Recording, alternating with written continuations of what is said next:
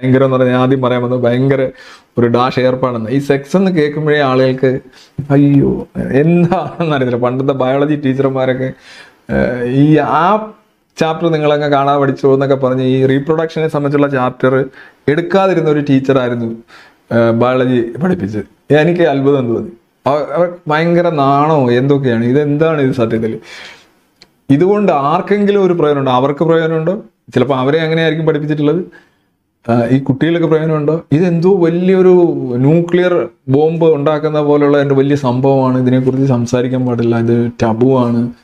എത്ര ഡിഫിഡന്റ് ആയിട്ട് എത്ര വിലക്ഷണമായിട്ടുള്ള ലോകവീക്ഷണമായിട്ടായിരിക്കും മനുഷ്യനെ കുറിച്ചും ജെൻഡറിനെ കുറിച്ചും സെക്സിനെ കുറിച്ചും ഒക്കെ കുട്ടികൾക്ക് ഉണ്ടാവും ഭയങ്കര കഷ്ടമായിരിക്കും. നമ്മൾ വിചാരിക്കുന്നത് എന്തോ വലിയ വിശുദ്ധിയാണ് എന്തോ വലിയ നേട്ടമാണ്. ഒരിക്കലും അല്ല. ഒരിക്കലും അല്ല. സെക്സിനെ കുറിച്ചും സ്ത്രീ പുരുഷ ബന്ധങ്ങളെക്കുറിച്ചും അവരുടെ അവയവങ്ങളെക്കുറിച്ചും അതിന്റെ പ്രവർത്തനങ്ങളെക്കുറിച്ചും ഒക്കെ കുട്ടികളായിരിക്കുമ്പോൾ തന്നെ നല്ല വ്യക്തമായ നല്ല കിണ്ണം ധാരണ കുട്ടികൾക്ക് കൊടുത്തേ പറ്റുള്ളൂ.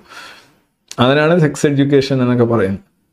അതില്ലെന്നുണ്ടെങ്കിൽ ഈ പറഞ്ഞോണം ബി ബി സി റിപ്പോർട്ട് ചെയ്തോണം നൂറ് പേര് പരസ്യമായി കിസി കിസ് ചെയ്യുന്നത് കാണാനായിട്ട് പതിനായിരക്കണക്കിന് ആളുകൾ വൃക്ഷങ്ങളുടെ മുകളിലും കെട്ടിടങ്ങളുടെ ടെറസിലും കയറിയിരുന്ന് നിൽക്കുന്ന ഒരു ദൃശ്യം. ഇത് ആഫ്രിക്കൻ രാജ്യങ്ങളിൽ പോലും ഇങ്ങനെ ഉണ്ടാവില്ല എന്ന് റിപ്പോർട്ട് ചെയ്തു ആ ഒരു അവസ്ഥ വരും. നമുക്ക് ഇത്രയും വലിയ അവകാശതാബോധം ബോധം ഇത്രയും വലിയ സദാചാര ബോധം സദാചാര ബോധം എന്താ? നമ്മളെന്തോ ഈ വലിയ ധാർമ്മികത ഉണ്ടാകും ഒന്നുമല്ല നമുക്ക് നിഷേധിക്കപ്പെട്ടത് മറ്റൊരുത്തിന് കിട്ടുന്നതിലുള്ള ഏ സൂയ ആണ് പ്രധാനം. അത് അടക്കാൻ പറ്റത്തില്ല ഒന്ന്. ഞങ്ങളൊന്നും ഇങ്ങനെയൊന്നും ആരില്ല ജീവിച്ചത് ഞങ്ങളൊക്കെ ഭയങ്കര അടക്കി ഒതുക്കിയാണ്. അടക്കി ഒതുക്കി അടക്കി ഒതുക്കി എന്ന് പറഞ്ഞാൽ യു ആർ ഫോഴ്സ് ടു എന്നാണ് അവിടെ വരുന്നത്. അടക്കുകയാണ്. എന്ന് പറഞ്ഞാൽ ഉണ്ടായിരുന്നു. അടക്കുന്ന കാര്യം എന്താണ്? അടക്കി. എന്ന് പറഞ്ഞാൽ ഈ സാധനം ഉണ്ട്. നിങ്ങൾ അടക്കി. ഒതുക്കി എന്ന് പറഞ്ഞാൽ സാധനം ഇങ്ങനെ വരികയാണ്. ഒതുക്കി.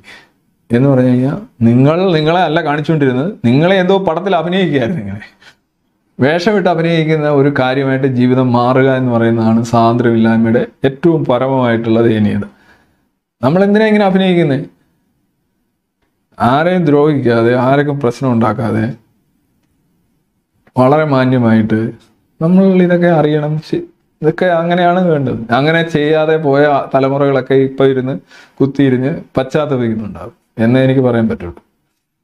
ഈ സദാചാരം നമ്മൾ നല്ല ധാർമ്മിക ബോധം ഉണ്ടായിട്ടല്ല സദാചാരിയാവുന്നത് കേട്ടോ. ചില ആൾക്കാർ പറയുന്നുണ്ട് ധാർമ്മിക മൂല്യം. ഓ ധാർമ്മിക മൂല്യമായിട്ട് ഒരു ബന്ധവും ഇല്ല അതിന് ഒരു ബന്ധവുമില്ല. ധാർമ്മികത എന്ന് പറഞ്ഞാൽ സത്യസന്ധത പരോപകാര പ്രവണത അല്ലേ? സഹകരിച്ചു പോകുന്ന മനസ്ഥിതി എന്തെങ്കിലും അങ്ങോട്ട് കൊടുക്കുക ഹെൽപ്പിംഗ് മെന്റാലിറ്റി പരദൂഷണം പറയാതിരിക്കുക ആളുകളെ ഉപദ്രവിക്കാതിരിക്കുക ഇതൊക്കെയാണ് നല്ല ആചാരം. അതിനെയാണ് സദാചാരം എന്ന് വിളിക്കേണ്ടത്. അല്ലാതെ ഈ ഈ അടക്കി ഒതുക്കി പോകുന്നതിനല്ല അടക്കി ഒതുക്കി എന്ന് പറയുമ്പോൾ തന്നെ നിങ്ങൾ അൺനാച്ചുറൽ ആയിട്ട് എന്ത് ചെയ്തു എന്നാണ് എന്റെ അർത്ഥം. മനസ്സിലായല്ലേ? അതിന്റെ കാര്യമില്ല. അത് സത്യസന്ധത ഇല്ലായ്മ ഏറ്റവും വൃത്തികെട്ട മനുഷ്യനായിരിക്കും ഈ സദാചാരം കൂടിയ മനുഷ്യൻ. അത് കാണുമ്പോൾ തന്നെ അറിയാമല്ലോ നമ്മളെ ചുറ്റും നോക്കിക്കഴിഞ്ഞാൽ. ഈ സദാചാര പ്രഭുക്കളെ എല്ലാം നോക്കിക്കഴിഞ്ഞാൽ തൊഴുമ്പ് കേസാണ്. പിന്നെ ഒരു സമൂഹത്തിൽ നമ്മൾ പാലിക്കേണ്ടതായിട്ടുള്ള അന്യന്റെ സ്വാതന്ത്ര്യത്തെ പാലിക്കുക അന്യനെ അന്യനോടുള്ള കരുതൽ അവനോടുള്ള ആദരവ് ഇത് വളരെ പ്രധാനമാണ്. അതനുസരിച്ച് നമ്മുടെ പ്രവർത്തനങ്ങൾ നമ്മൾ ഏകോപിപ്പിക്കേണ്ടതുണ്ട് റെഗുലേറ്റ് ചെയ്യേണ്ടതുണ്ട്. അത് നമ്മൾ ചെയ്യുന്നുണ്ടാവില്ല അതിനകത്ത് കുഴപ്പമൊന്നുമില്ല. കാരണം സമൂഹത്തിന് നമുക്ക് മൊത്തത്തിൽ മോശമായിട്ടുള്ള കാര്യങ്ങൾ നമ്മൾ ചെയ്യുന്നില്ല. എന്ന് പറഞ്ഞ് ഈ അടക്കി ഒതുക്കി കുപ്പിക്കകത്ത് കയറ്റി അങ്ങനെ അതിന്റെ ആവശ്യമില്ല. അങ്ങനെ എത്ര കയറ്റിയാലും കുറെ കഴിഞ്ഞത് പുറത്തു വരും.